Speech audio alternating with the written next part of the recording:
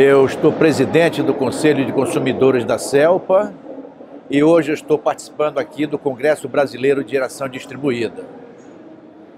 O mercado hoje atravessa um momento de muitas dificuldades, muitos questionamentos. Semana passada ocorreu audiência pública em Brasília, lá no Clube do Exército, onde participaram aproximadamente alguma coisa em torno de mil pessoas. Nós entendemos que além da figura do consumidor, a 482 trouxe a figura do prosumidor.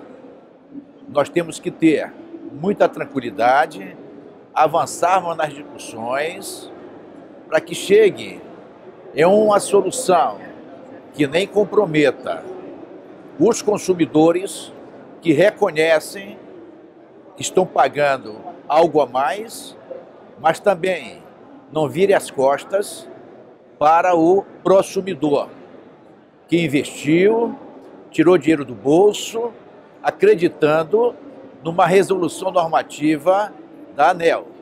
Então nós temos que ter muito equilíbrio, temos que avançar as discussões em várias regiões do país.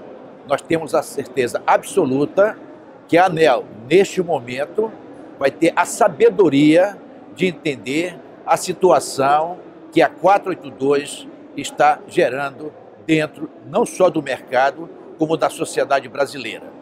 Muito obrigado.